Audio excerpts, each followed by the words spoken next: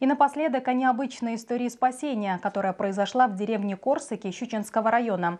Дворовая кошка Мурка предупредила человека о пожаре. Поздно вечером хозяин дома проснулся от того, что кошка царапает ему лицо. Он хотел было разозлиться на питомца, но увидел дым в комнате. На пожар прибежала и соседка, которая вызвала спасателей. В итоге в огне никто из людей и животных не пострадал, а кошка Мурка теперь стала местной знаменитостью.